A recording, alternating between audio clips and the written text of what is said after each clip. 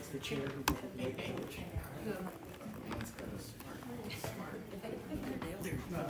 You're supposed to sit up here. Or bumps. She went to the draft. Sit right down. Probably the bill in the back here.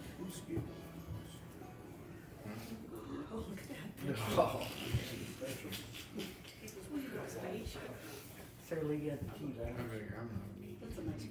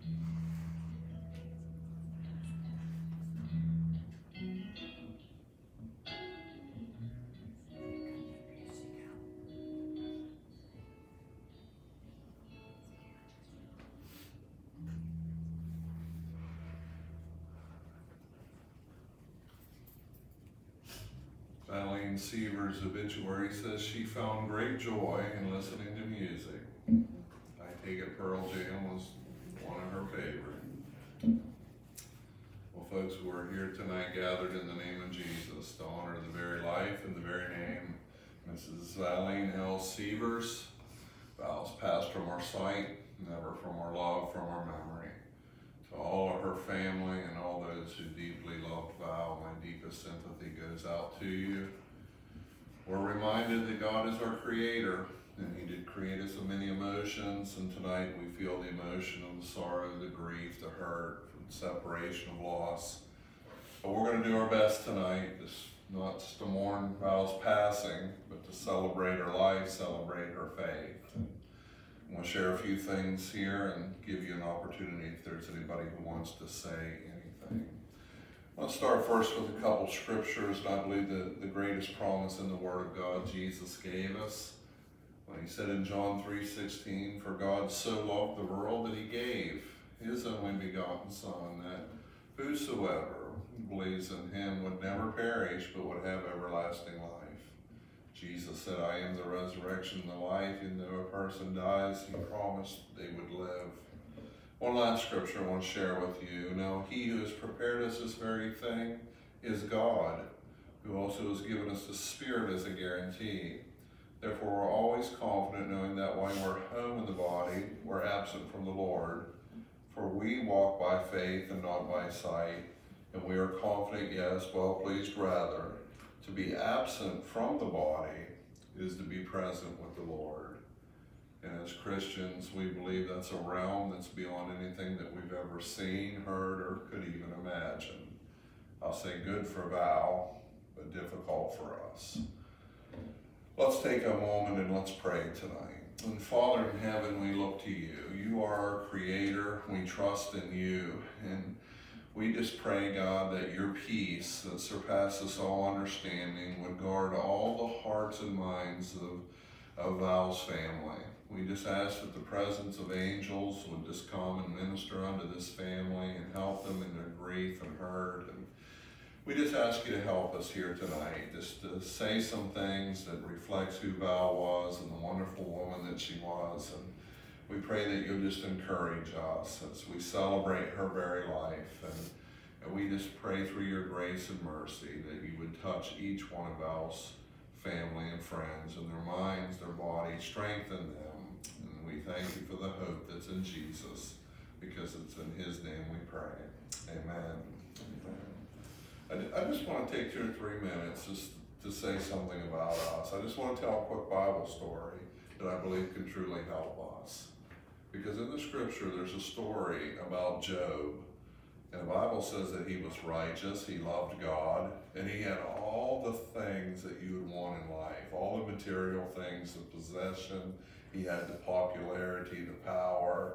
He was a man of great wealth, and he had many people who worked for him, many farms, and beautiful home, and a beautiful family. In the Bible, says in one tragic day, everything was destroyed from him by the enemy, including all 10 of his children. Now, I can't feel your hurt and pain and how difficult it is to lose a mom, lose a sister, someone you love dearly, but and to lose a child, let alone 10 of them. And Job did something I believe is a, a powerful example for you and I. He simply turned to God by faith and he said, Naked have I come from my mother's womb, naked shall I depart. He said, The Lord is given and the Lord is taken away. He said, Blessed be the name of the Lord. He had not a clue what was happening. He didn't realize why this was happening, but his faith remained in God. And it's an example for you and I that God created us he loves us. He desires to have a relationship with us.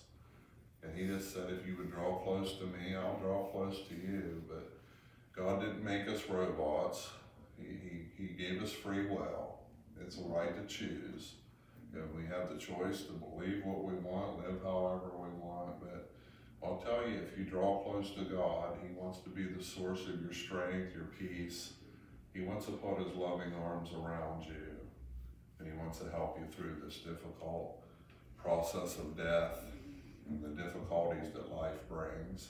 So my prayer for all Val's family tonight, that this would just be a time that we draw close to God. He is the ever-present help in the time of trouble. All right, let's take a moment and let's celebrate Val's life. And I'm gonna do my best here to read this obituary. So I am a Wellsville graduate, so if I miss a name please forgive me. So Valene L. Valene L. Seaver, 66 of East Liverpool, passed away unexpectedly Tuesday, May 25th, 2021, at her home. She was born November the 24th, 1954 in Navarre, Ohio. She was the daughter of the late Richard T. Burkheimer and Ruth Ibby McKinney Parsons. She was also preceded in death by her son, Jerry Thomas, and by her companion, Jeff Smyers. Val found great joy in listening to music, and she loved spending time with her family. She could fix anything and was known as Moosey Maintenance. She was strong-willed, and no matter how bad she felt, she kept pushing. Val will be deeply missed by her children. Richard Severs Jr. Rogers, Jamie Severs of Negley, daughter Casey Thomas of East Liverpool, siblings Richard Burkheimer, Sr. of Toronto, James Burkheimer, Bethel Island, California, Ron Burkheimer and his wife Debbie Zube of East Liverpool, Serena Burkheimer Wells and her companion Bill Renfro of New Cumberland, Sarah Lee Prasuti and her husband Nick of Midland, and Dale Burkheimer and his wife, Bunny Herodovich Burkheimer of Weirton. She will also be missed by her grandchildren Zachary, Alyssa, and Brendan Tice, Kylie, Brendan, Maria Severs, many nieces and nephews. Val is going to be sadly missed by us all. Well, God's given us a gift. It's the gift of memory. And now we're going to cherish those good times that we spent with Val. We all have them. Whether it was a birthday, time of Thanksgiving, Christmas, you know, we want to cherish those, those good times, those good moments. And if it was a bad moment, just forgive and just move on from that. Let's cherish those good times that God has given. Let's look at the woman that Val was. And we see that she was a woman who was, she was determined. She had, she had a very strong will. And she was diagnosed with cancer in, in 2003. And actually, Dr. Aziz had said that she, that she was uh, his miracle uh, patient. She, she, she beat it and the cancer that she had. And so it just, it just showed her determination. She had a, some rough moments in life, losing a son in 2000, but you know, she, she, she was, she was determined. She was a fighter. She never gave up. And God had blessed her with many talents. She was good with her hands.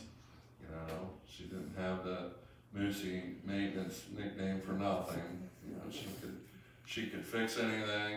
You know, and she just had a talent, had a knack to fix anything, whether it was maintenance, whether it was a car, or you know whatever it was. She she had a way to get it done. She was a fixer upper, even in carpentry, drywall. You know, she could do anything. Um, she loved you guys. She took care of you sisters for a while and pretty much raised you. She was like your second mom. Showed her heart of love. And you guys were always at her house.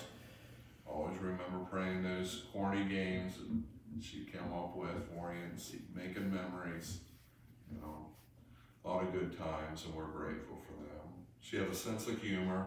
Uh, liked to crack a joke. Always had a smile. Dale, I think you called her your I aye.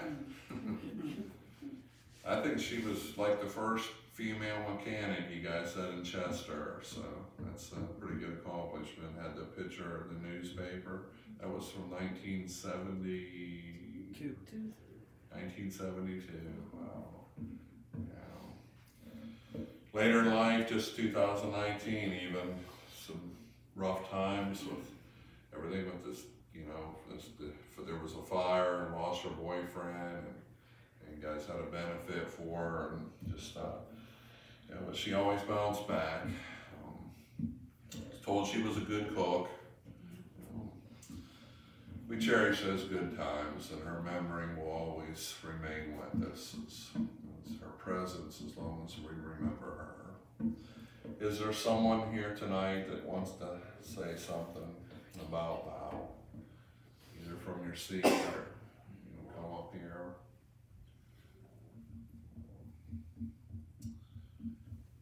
She's going to be missed. My sympathy goes out to you. Just as a Christian funeral, just wanted to share the gospel in closing that, you know, we believe that Jesus is the Son of God and he did go to a cross and he did give up his life.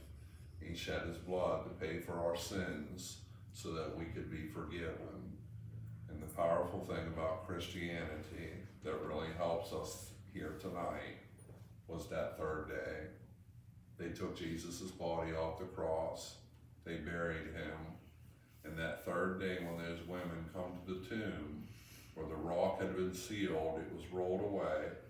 They looked inside the tomb, Jesus' body wasn't in there. They naturally thought someone had stolen Jesus' body.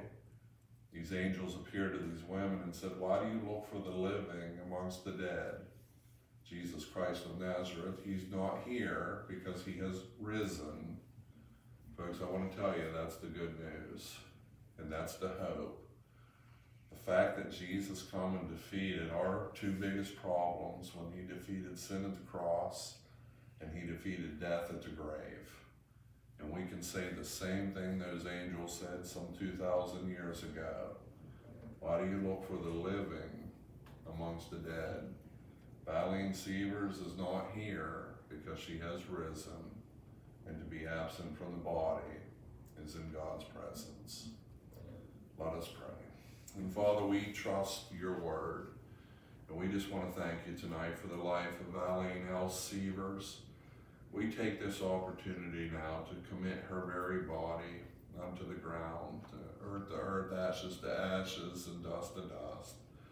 And we ask, God, that your grace and your mercy would be upon her family. We trust you, and we thank you again for the many memories that we'll cherish in our heart with Val. And we ask you to continue to help us. And we pray this all in the name of Jesus. Amen. Thank you, folks. I'm so sorry.